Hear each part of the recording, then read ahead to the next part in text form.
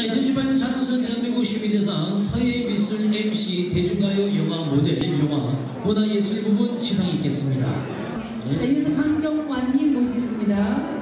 귀하께서는 평소 출간료, 봉사, 선행 등 특수의 구성을 국내에 널리 알리는데 귀한 공이 지대함으로 그 공을 높이 칭하고 위에 부분에서 원상을 수여합니다. 2018 5월 20일 2018 자랑스러운 대한민국 시민대상 조직위원회 대회장 이용도 드립니다. 축하드립니다.